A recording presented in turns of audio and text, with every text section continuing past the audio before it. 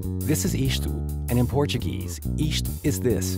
Confused? Let's start again. This is isto, this is isto, and this is a collection of istos. They sell all year round. This is NGS, our textile factory in Braga. This is our price breakdown of an Oxford shirt, and this is a ball of cotton.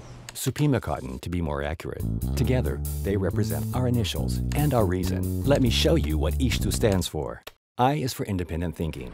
For us, independence means quite simply that we get to live free from industry constraints and from the high fashion agenda. We decide who we work with, what the brand looks like, and what products we put forth.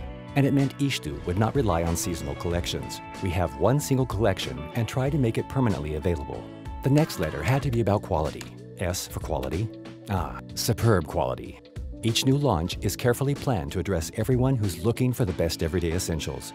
The result is a growing collection that is made to look amazing, fit perfectly, and last longer. Then, we show you everything.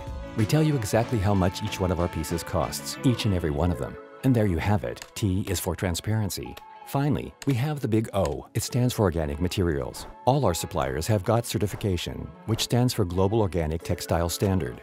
It's a big deal for factories, for clothing brands, and for consumers. In short, it's a big deal for the planet. So each fiber of cotton is made of organic and sustainable materials. And this is it. I mean, Isto.